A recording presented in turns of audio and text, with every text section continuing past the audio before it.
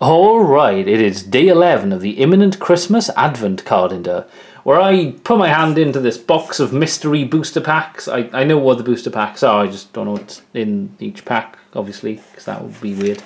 Uh, and I just grab them and I'll, I'll, I'll stop explaining now and just get on with it. We have, wow, another back-to-back -back Power Rangers Fleer trading card uh, pack. So yesterday Day 10 we had one and today, day 11, we have a second.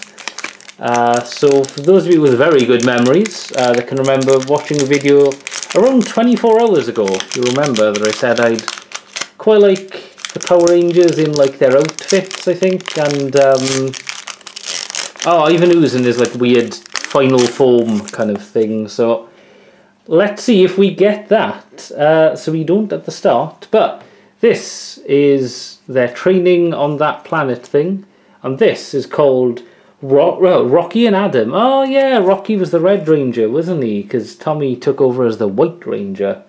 I remember. There we go. That's them. Uh, best defense is a good offense. I'm pretty sure that was a line in the movie, right? And then Kimberly had that really cheesy one of "Have a nice trip. See you next fall." Get it? Because they're gonna fall. It's Ninjetti time. What do they call the ninja? Hang on. So that's Tommy, obviously.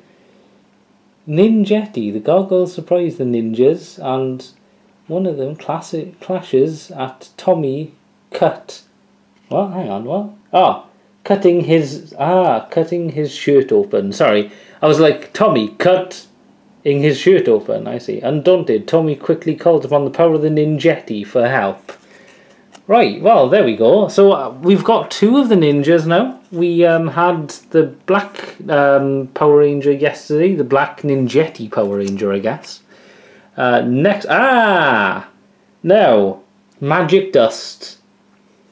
Now, I I remember her from the movie. That is, that is the woman that showed up with the singing stick. Uh, Dulcea? Yeah, Dulcea seems to be her name. Uh, she gives them the power of the Ninjetti, and also she does not wear many clothes. Um, so you know that's a that's a memorable part of that movie. Um, she doesn't show up. Ah, there we go. That's more like it. That's the kind of Ivan Ooze card I wanted, really.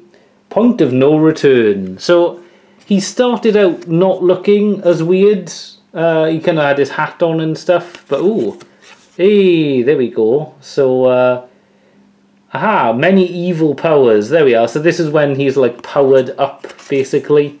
Uh, yeah, that's powered up Ivan. That's the stuff of nightmares. Uh, next up, we have... No, hang on. It was this way. It is fried chicken. Alright then. So uh, this is when the the things are attack. Uh, I can't remember what they're, they're called. Oh, Tengu Warriors. That's it. Yes. Okay. So that's when the Tengu warriors are attacked. They have interesting outfits. Honestly, this movie is like, it's bad, but it's enjoyably bad, if that makes sense. It doesn't take itself seriously, which I very much appreciate. And our last card is Purple Haze. By goodness, the so we've already had Purple Pain, which was, you know, a sort of uh, a, a, play on Purple Rain, obviously, by Prince. And then we have Purple Haze, which is Jimi Hendrix. I'm seeing a pattern here. I mean, admittedly, the ooze is purple and stuff, so you can't really blame them. But yeah, there's a bunch of people being covered in the haze and turning into zombies, I think. I do kind of want to rewatch the movie now after opening so many of these cards, but, you know, I'll hold off for now, but I'm sure I'll bring it up in the future um, one day. I don't know why, but I will. Anyway, I'll stop rambling now. Thank you very much for watching. This has been day 11. Tomorrow will be midway through, technically, the calendar. I, I will be doing a Christmas Day one as well, but technically calendars, advent calendars especially, only last until the 24th. But yeah, right. Well, until next time, goodbye.